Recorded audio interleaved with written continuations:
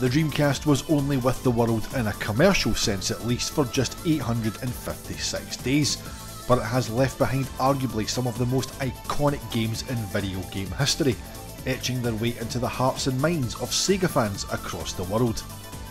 Dreamcast was the console which seen Sega's decades long mission finally come to pass. The arcade was now truly in the home.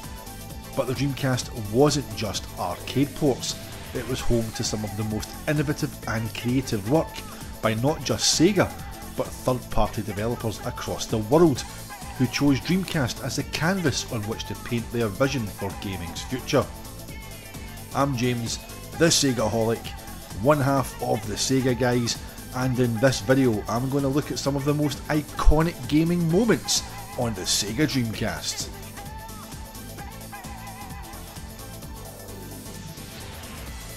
By today's standards, Shenmue may come across as something of a relic.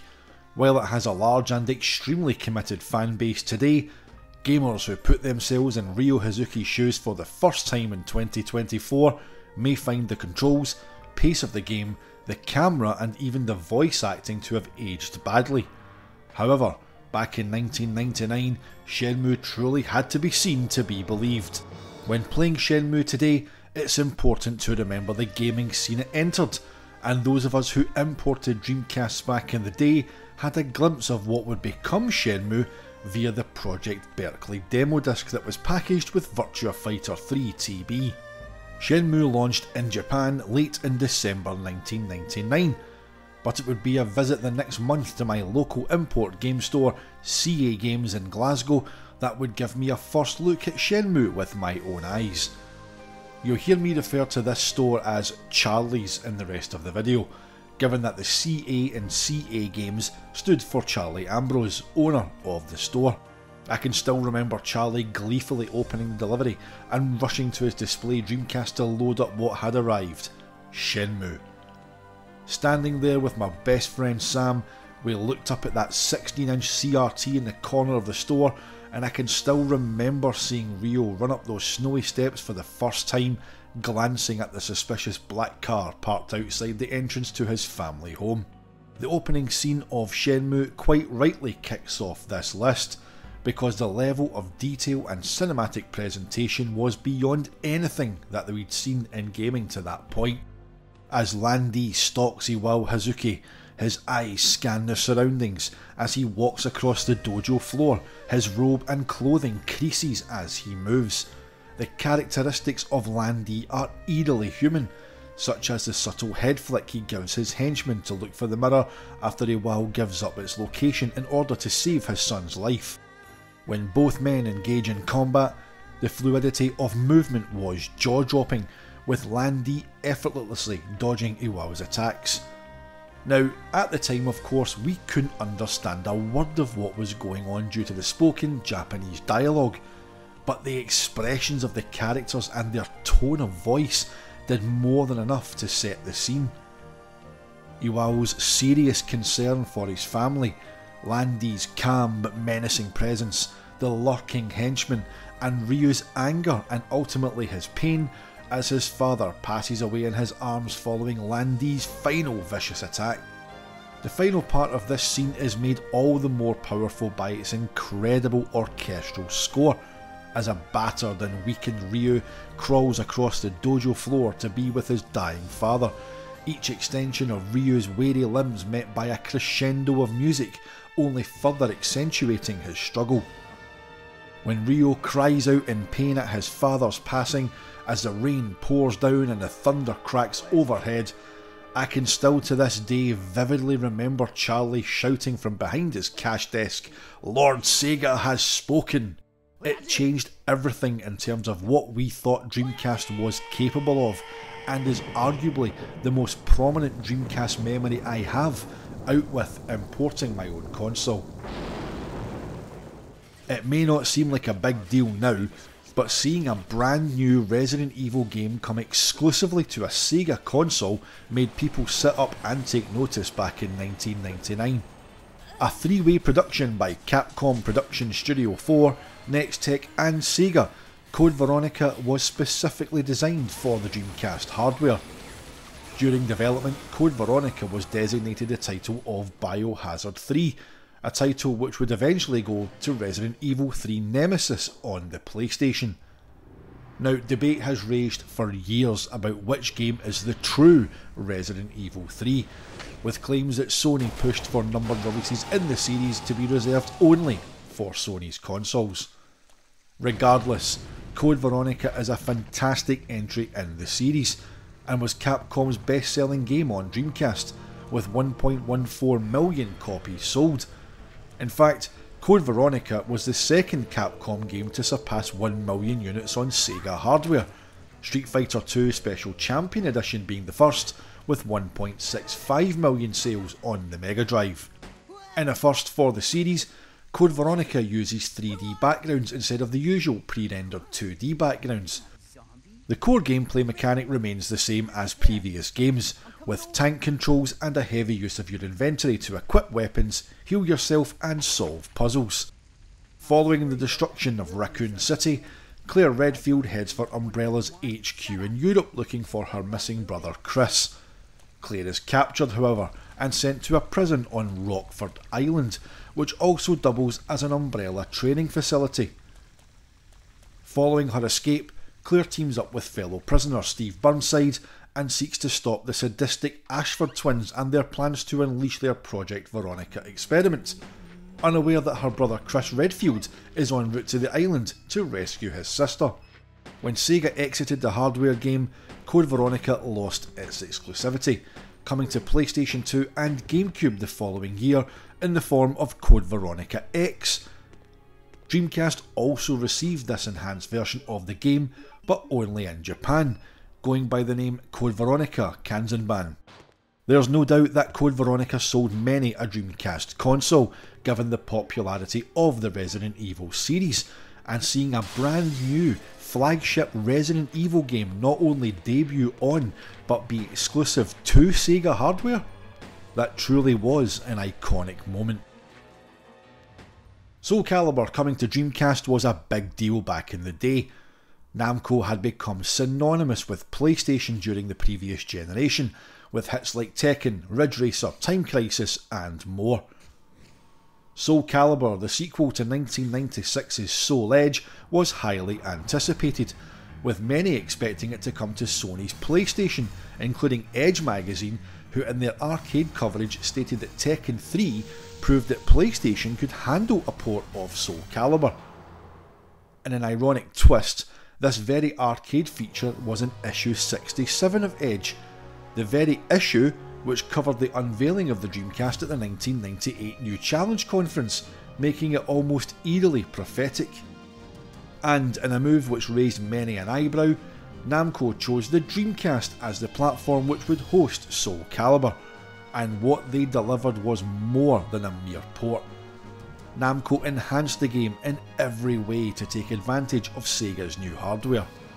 Soul Calibur's intro not only set the scene wonderfully, but featured character models taken entirely from the in-game engine, meaning this was the first Namco game that didn't open with a CGI sequence like say Tekken or Soul Edge. The level of detail was breathtaking at the time, and has held up exceptionally well facial expressions, detailed weapons and clothing, and incredible movement on show as each fighter showcases their fighting style.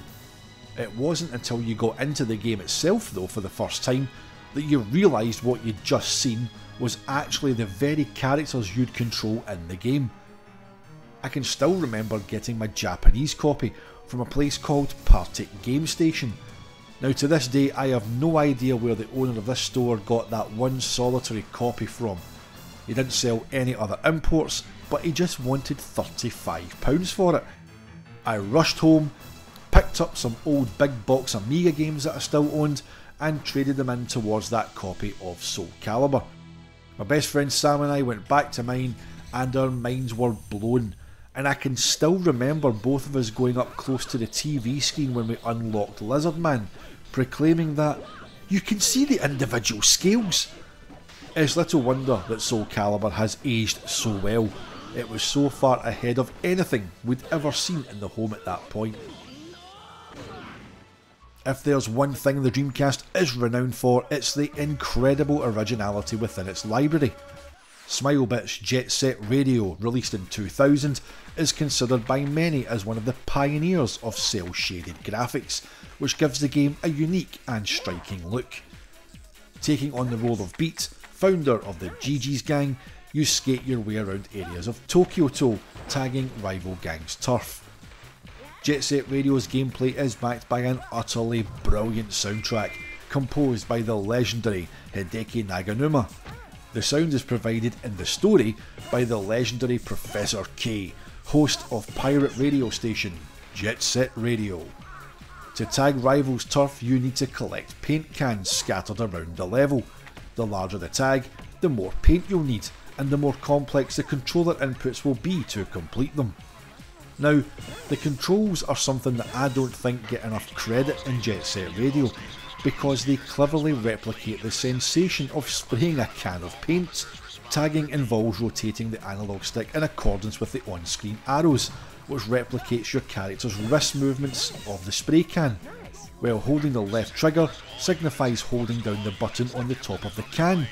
In fact, you can't begin tagging until you hold down the left trigger, or hold down the button on the spray can. It's so clever and brilliantly thought out.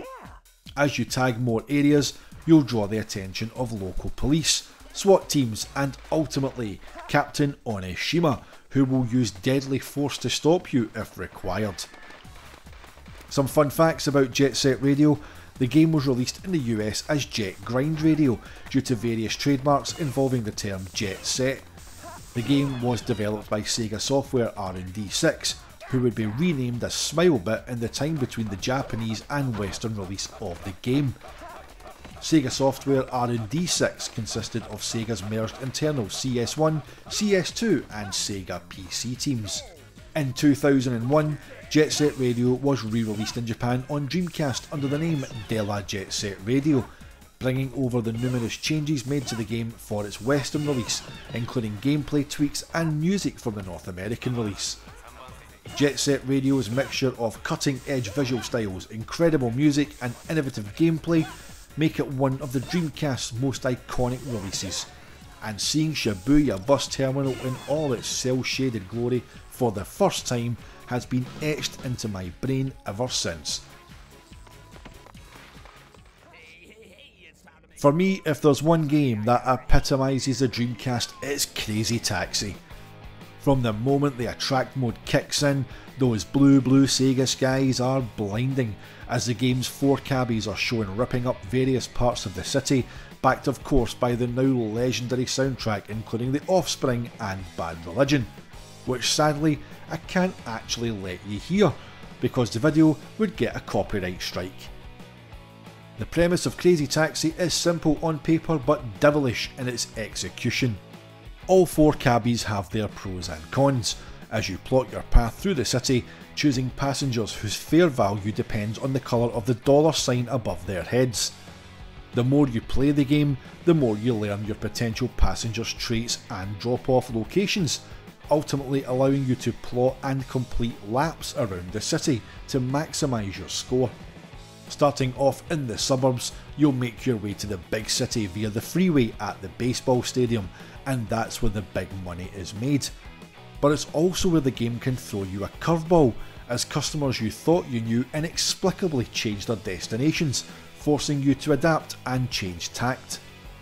All the cabs have a set of special moves, including the Crazy Dash, Limit Cuts, Crazy Throughs, Crazy Drifts, and Crazy Stops Combine these moves while navigating traffic and dropping off passengers, and your combos will rocket and so will your score.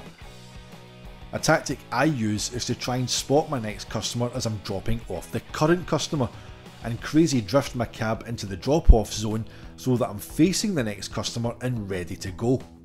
When I first laid eyes on Crazy Taxi, the thing that struck me more than the visuals and the gameplay was just the sheer vibe of the game. It feels so in tune with the era it was released, with iconic brands like Pizza Hut, Fila, Levi, and the now defunct Tower Records, combined with a soundtrack that has quite rightly gone on to be one of gaming's most recognisable and quote worthy.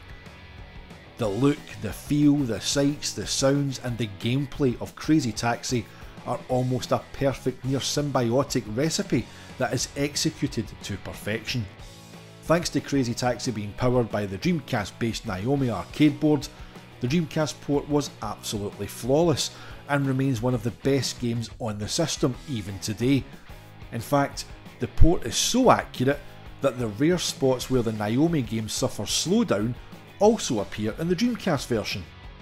Some may think that the brands and the music age this game somewhat, but for me, that's what makes it so iconic. Crazy Taxi is like a gaming time capsule, preserving a snapshot of both gaming and society for future generations to enjoy. And every time I boot it up, I'm transported back to the year 2000, a truly iconic Dreamcast release. Rez may have released long after the Dreamcast's official discontinuation, but it remains one of the most recognisable and unique titles on the system.